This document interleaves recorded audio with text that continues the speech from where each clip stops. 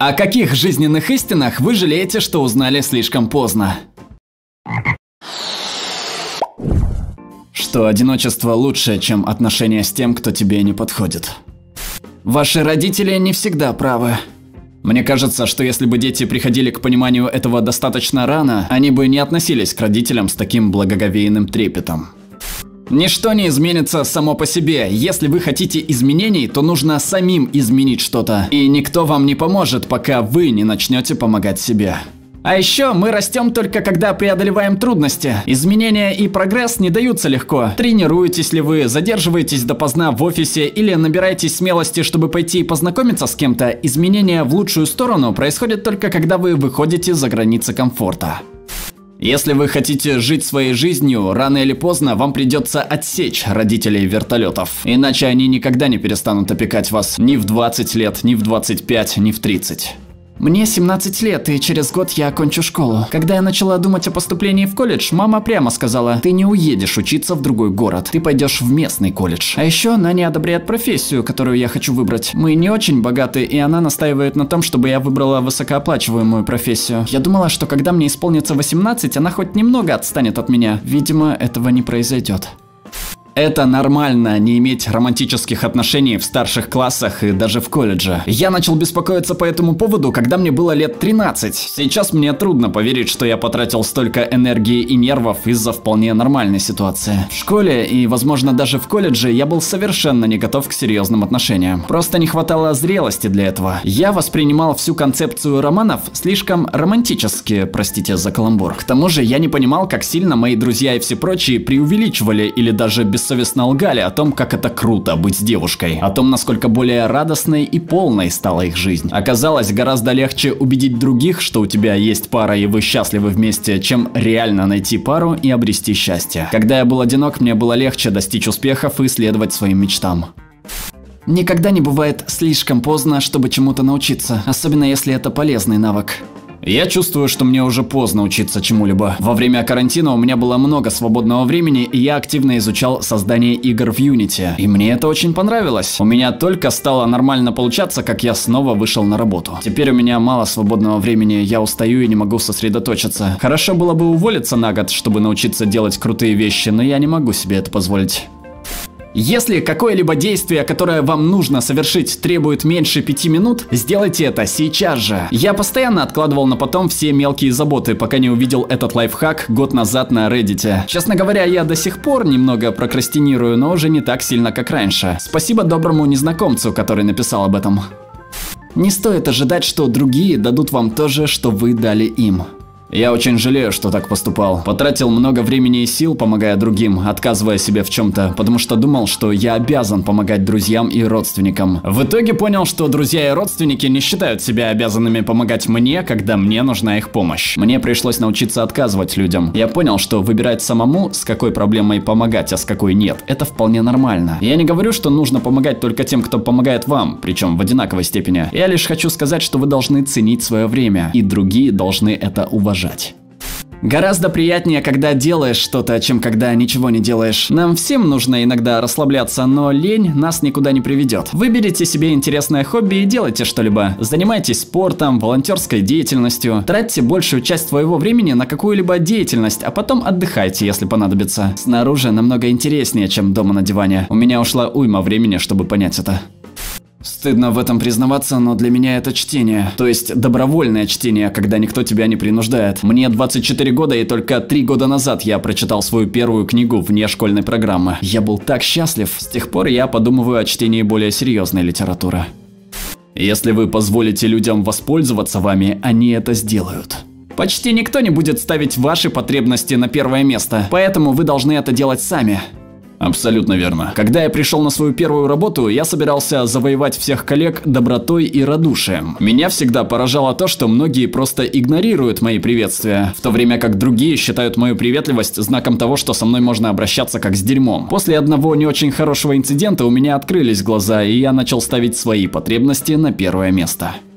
Никогда не давайте в долг такие суммы, которые вам жалко терять. Вот как я это вижу. Если вы дадите кому-нибудь в долг и не получите его обратно, то можете считать, что вы потратили эту сумму, чтобы узнать, что этому человеку не стоит доверять. Если он возвращает вам деньги, пусть и по 5 рублей, когда у него появляется возможность, вы можете считать этого человека своим настоящим другом. Нужно заставлять себя выходить из кокона и больше общаться с людьми. Нельзя замыкаться в себе. Кажется, я понял это только когда прожил целую неделю, не проронив ни слова. Мне было очень легко закрыться в своем футляре, но выйти оттуда всегда было трудно. Мне нравится одиночество, и я ненавижу общаться с людьми. Так было всегда, поэтому я взял за привычку надевать наушники и игнорировать внешний мир. Хуже всего было в колледже, когда я садился за заднюю парту и слушал преподавателя, но надевал наушники в ту самую секунду, как заканчивалась пара. Сладкие газированные напитки наносят вред здоровью зубов. Я стоматолог и подтверждаю это. Я постоянно всем говорю, что если весь день пить Кока-Колу, то неважно, сколько раз вы чистите зубы, потому что у вас все равно будет кариес. Другим плевать на вас. Они гораздо больше беспокоятся о самих себе, и вы для них точно не на первом месте. Если бы я узнала об этом много лет назад, избавилась бы от кучи комплексов. Вы не можете изменить других людей. Неважно, как сильно вы стараетесь, поддерживаете, любите их, они не изменятся, пока сами не захотят. Узнала это на своем горьком опыте что один прекрасный день, который вы ждете, тот самый, когда начнется ваша настоящая жизнь, это день сегодняшний. Не ждите подходящего момента, действуйте уже сегодня. В жизни встречаются дерьмовые люди, некоторые из ваших друзей полные придурки, и вам нужно вычеркнуть из своей жизни таких людей. Иногда приходится вычеркивать из своей жизни даже родственников. У меня были ужасные отношения с одним из моих родителей, которые постоянно сопровождались руганью и скандалами. Кровь не вода и все такое. Только после 30 я понял, что иногда полезно отказаться от общения даже с близкими родственниками. О том, что нужно обращаться к профессиональному психологу, если вам нужна помощь. Мне 27 лет, и я лишь недавно начал ходить к психологу-наставнику. Когда посторонний человек, который не имеет никакого отношения к происходящему в твоей жизни, узнает ее подробности и дает советы, это очень помогает. Жаль, что я не обратился к психологу, когда был моложе. Возможно, вся моя жизнь сложилась бы иначе, но я пытаюсь изменить ее сейчас. Управление гневом. Мы ссоримся с родственниками, друзьями, коллегами. Мы сердимся из-за политика. Мы злимся из-за того, что люди пишут на Reddit. Но все это бесполезно. Гнев не может ничего изменить. Я пришел к выводу, что я злюсь на других из-за собственных нерешенных проблем. Покупка вещей не делает вас счастливыми. Даже покупка дорогой машины радует максимум первые пару дней. В конце концов, человек привыкает к удобствам, которые начинает воспринимать как должное. Знаю, для многих это звучит дико, но люди с большим достатком согласятся.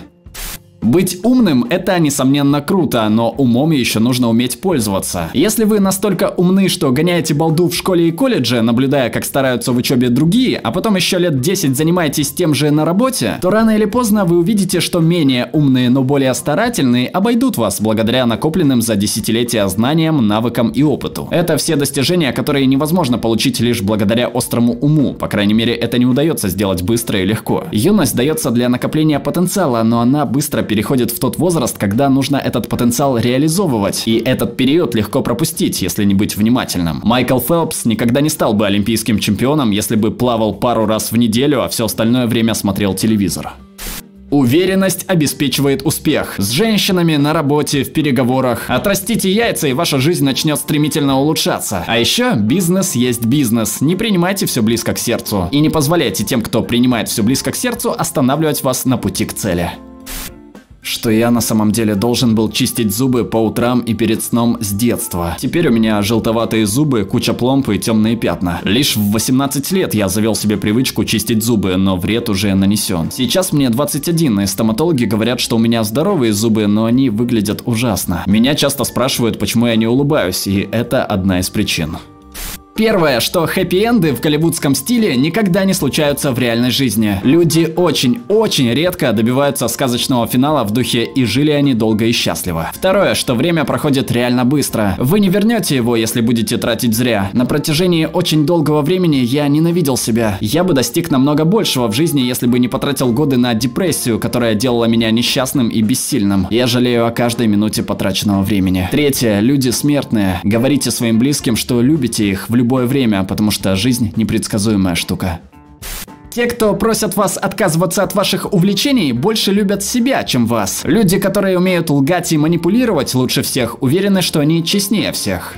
А еще психопаты совсем не такие, какими мы их видим в фильмах. Они больше похожи на ваших бывших, которые вертели вас на одном месте и высасывали всю вашу энергию. Они не безумные, они очень умны и очень хорошо умеют притворяться.